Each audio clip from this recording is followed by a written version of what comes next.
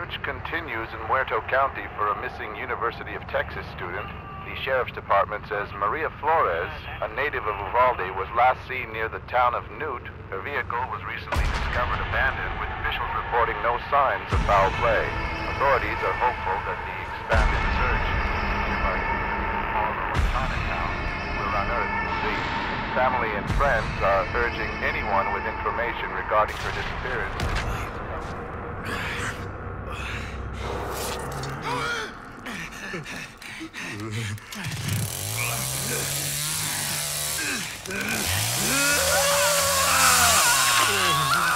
Ugh!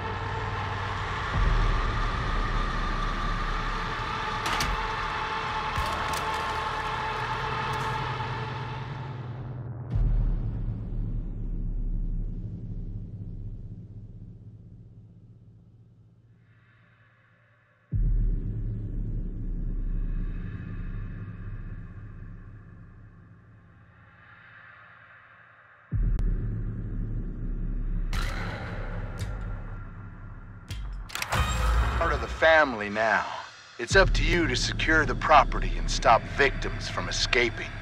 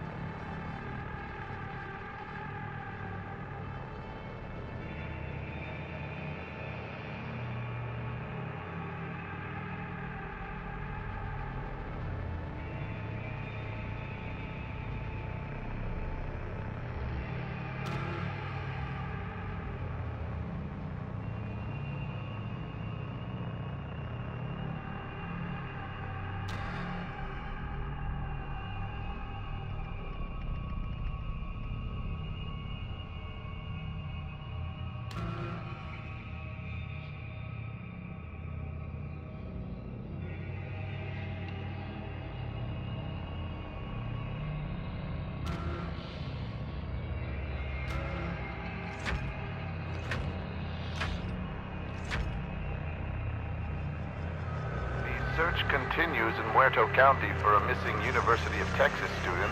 The sheriff's department says Maria Flores, a native of Uvalde, was last seen near the town of Newt. Her vehicle was recently discovered abandoned, with officials reporting no signs of foul play. Authorities are hopeful that the expanded search in the nearby community of Harlow and Connecticut